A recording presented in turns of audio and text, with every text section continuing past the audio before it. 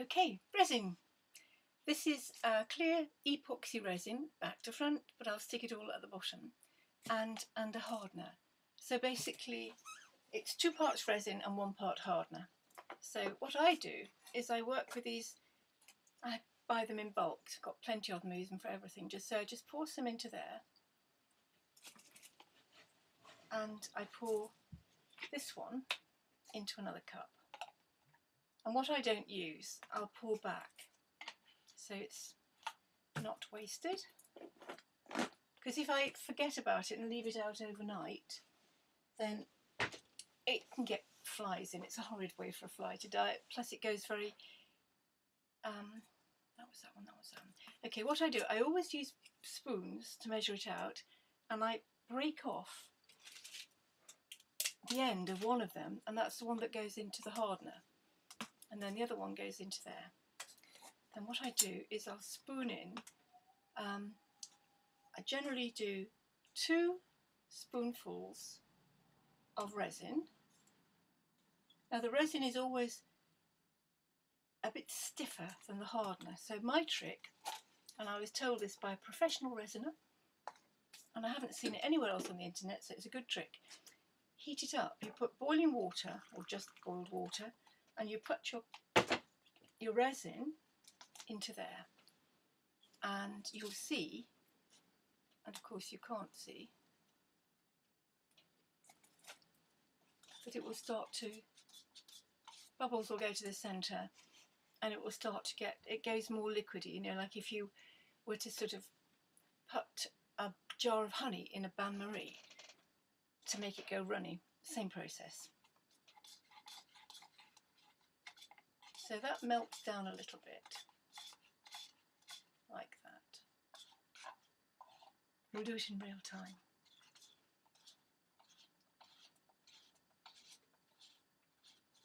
Doesn't take long because these are a treat to let the heat go through. It just means you have much, much smoother resin.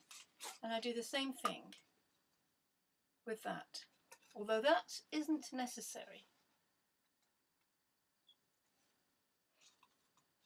Because this is already quite loose.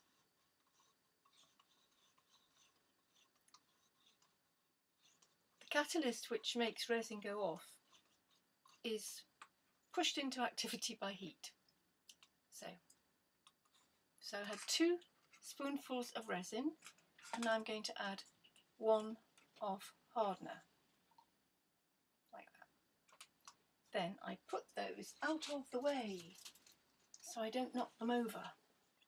And then I always stir it with a plastic fork. This is just so that I never forget. So if I see a plastic fork in the pot, then I know that I've stirred the resin because it has been known, only two or three times mind you in 15 years, but occasionally I've done a whole batch of jewellery and I've coated them in what I thought was mixed resin, only to find out it hadn't got the hardener in. Ugh.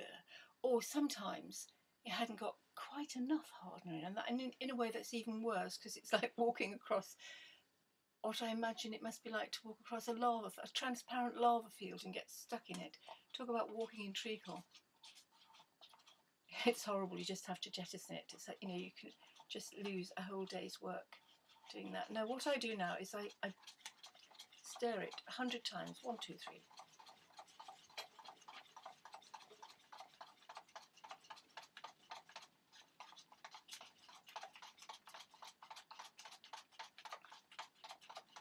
Lost count. Okay, I'll stop and I have another cup which I put that in on its own and that goes over there as well. Now I have bought um, these very thin latex gloves. I'm not a one for wearing gloves which is why I don't have manicured nails. I don't wear gardening gloves and I don't like to wear gloves when I wash up. Not that I wash up anymore because I have a dishwasher but these are useful and I suppose I should recommend them. But I don't use them but don't take any notice of me so I'll take them off because I don't like to wear them.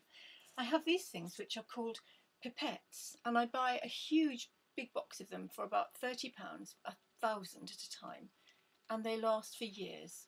They're brilliant and I used to use a teaspoon.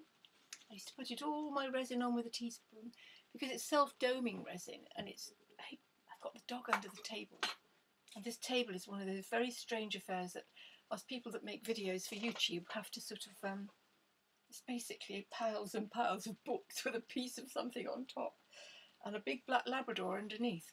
So what I do is I just soak up, wasn't very successful, my resin like that. And then with these, now with these one can brush it on and it doesn't matter if you crack it at all. So if I was to find an old brush, just a moment, of which I've got lots I'm sure, a nice old brush, that will do. Now I can, on the back side, back surface, put this and if I was going, if it was a flat piece of jewellery, I would do this and it was it would naturally dome. But because I want to brush this on, I'll show you now, it's going to start to tra go transparent. Just on one side. See, now I wish I'd got the, um, the glove on. So I think I will put it on. Because actually, if you do get it on your skin, it's really not very nice. But there we go. Now I can hold it with impunity.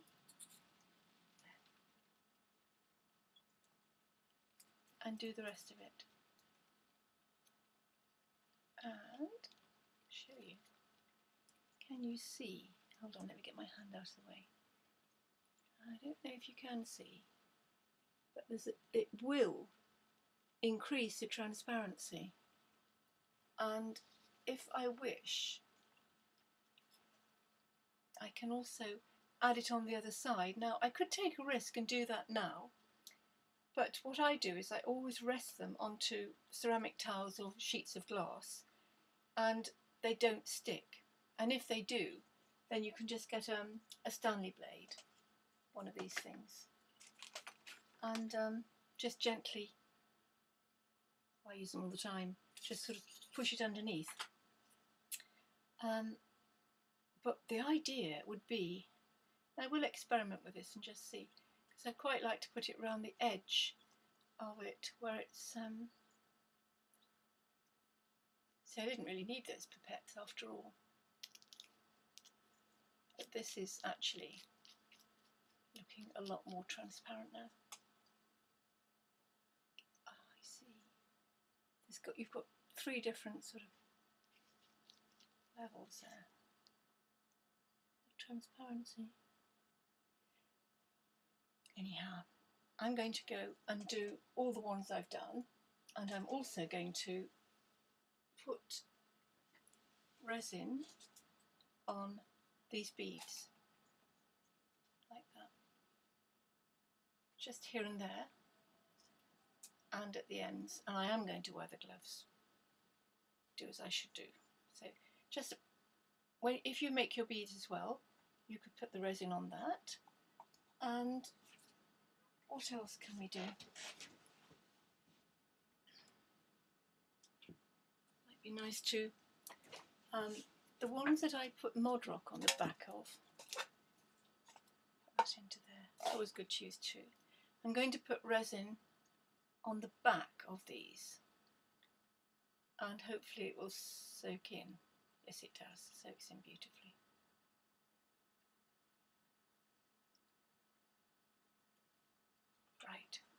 This is all preparation. The real fun comes when we start to paint it. But I always like the preparation because some days you just don't feel particularly inspired and I can't work with colour unless I'm feeling happy in a good mood and inspired. Um, I can always work with sepias and things like that and they usually make me happy in fact because they're so nice. So if you want to catch up and um, get your bits and pieces together and make some components. I'm going to call them components. It sounds as if we're in an industrial unit, but you know what I mean. And see what kind of resin you can get hold of and start to experiment. And then we'll probably all go off at different tangents, but we'll see where we end up. Okay, bye.